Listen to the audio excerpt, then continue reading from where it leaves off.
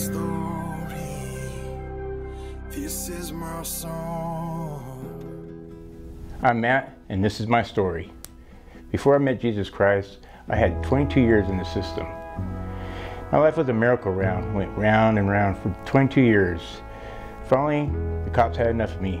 They beat me up, sent me off to prison for many years. So while I was in there, a guy kept on saying, Matthew, you need Jesus.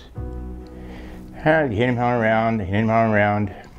My grandma sent me a letter saying, Matthew, I'm getting older.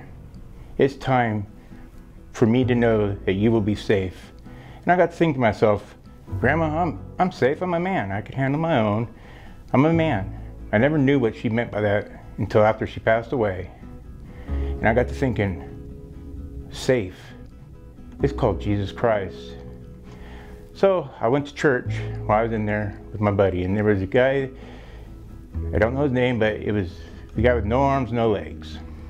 He has a purpose, everybody has a purpose. I said Jesus Christ, I fell down right there and said Jesus Christ while I was in prison. Not 36 days later, I still had four years left. I had eight year sentence. I got the letter in the mail saying, we refiled on your case. The cop that beat me up was filed, he had a murder charge on him. So they refiled on him and brought my case back up and released me 32 months early. I just put my hands up and said, that is God. There's only one way to live, and that's Jesus Christ. This is my story. This is my song. Praising.